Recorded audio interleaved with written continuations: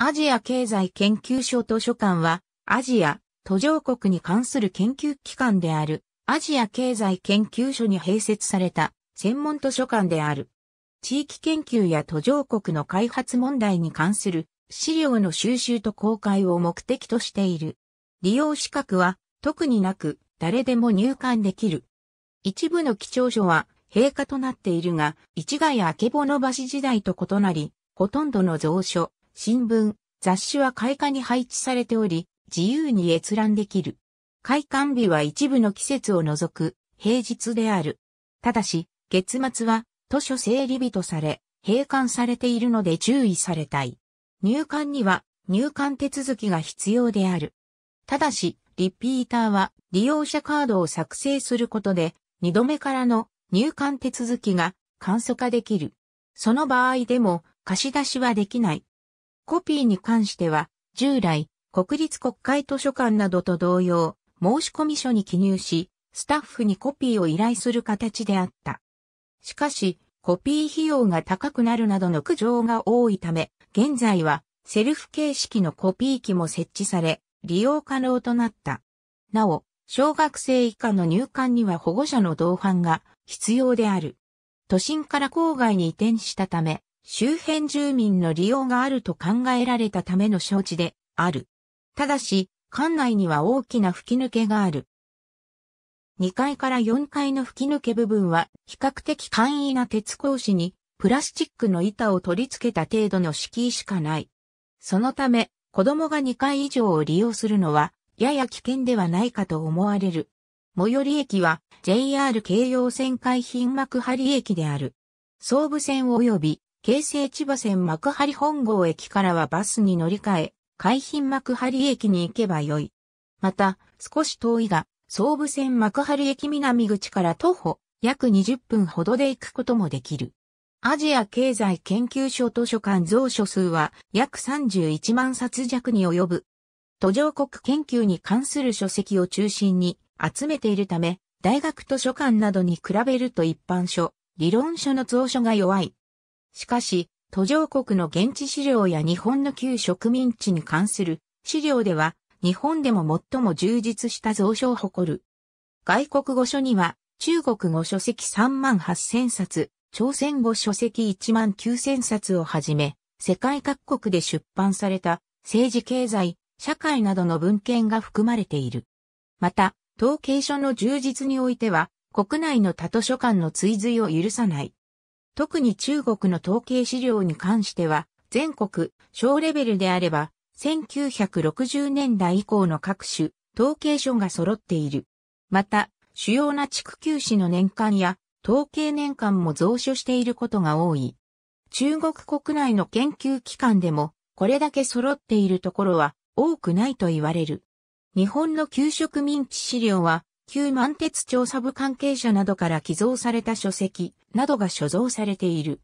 満州国や中国の疎開地に関する記録から、朝鮮総督府や台湾総督府関係の資料も多い。その一部は劣化が激しいため、増設された閉化スペースに保管され、特に資料価値の高いものの一部が電子化されている。このほか、アジア、途上国の主要な日刊誌や雑誌が収集されている。日刊誌は入荷次第、毎回完備、配下されている。現在、ウェブブラウザなどを利用して、オープックを利用し、ほとんどの蔵書について検索することができる。強著の場合は、各論文のタイトルや執筆者も収録されている。雑誌記事検索も可能である。雑誌は、主な記事のタイトルや著者、分野などが入力されている。収録範囲は、日本や海外の大学企業や学会誌、専門誌である。そのため、入荷から配下までには、数週間を要することもある。また、国立国会図書館のオープックからも、日本の雑誌記事検索が可能であるが、アジア、途上国関連の記事が必要な場合は、アジケン図書館をオープックの方が的確な検索結果を得やすい。国内外の商用雑誌、学術誌、大学企業を問わず、アジアや途上国に関する論考を収集している。ただし、2、3ページ程度のコラムやエッセイは入力の対象から外されている。そのため、社会科学系の研究において必要な論文や雑誌記事を探す場合には利用価値が高い。この OPUC の機能をベースにして、新着図書や雑誌記事を電子メールで通知するサービスも利用できる。ただし、雑誌記事の登録には時間がかかるため、書店での発売後にすぐに購入したいといった目的での情報収集には不向きである。このほか、電子図書館の機能の拡充にも取り組んでいる。著作権上の問題から図書館の蔵書をそのまま電子化することはできない。そのため、著作権の保護期間が満了したものや、アジア経済研究所が著作権を持つ出版物、あるいは内部研究者の執筆物などを公開している。アライド、アジア経済研究所学術研究リポジトリは、アジア経済研究の機関リポジトリである。本来、機関リポジトリとは、内部研究者が外部発表した論文や執筆記事を収録し、公開したものである。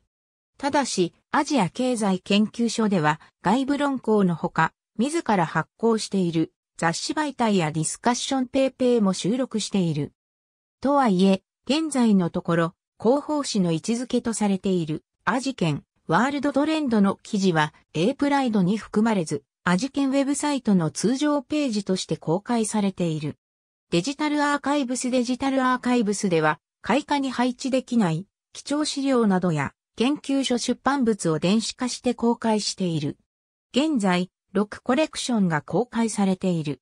なお、有料出版物の公開については、出版事業への影響を避けるため、無料公開は一定期間を経たものに限られる。本図書館でも貸し出しは、職員と研究会参加者のみに限定されている。そのため、一般利用者は直接借り出すことができない。しかし、他の専門図書館、大学図書館などとの間で、蔵書の相互貸し出しが行われている。そのため、大学生であれば、所属大学の図書館を通して貸し出しを受けることも可能である。アジア経済研究所がジェトロと合併したため、本図書館もジェトロのビジネスライブラリーとの連携が図られている。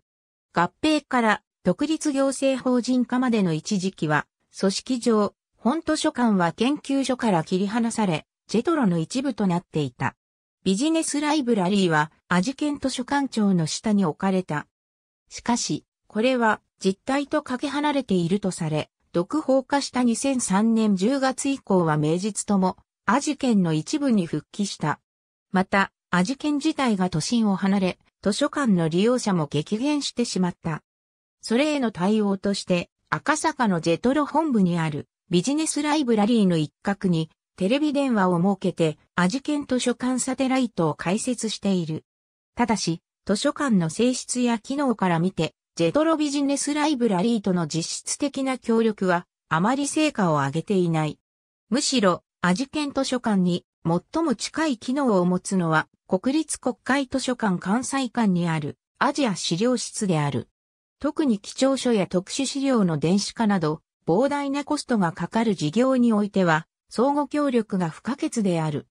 アジケン図書館は研究所と併設しており、研究員の海外出張や在外研究において資料収集を行わせることもある。そのため、国会図書館に比べて海外資料の収集能力が高い。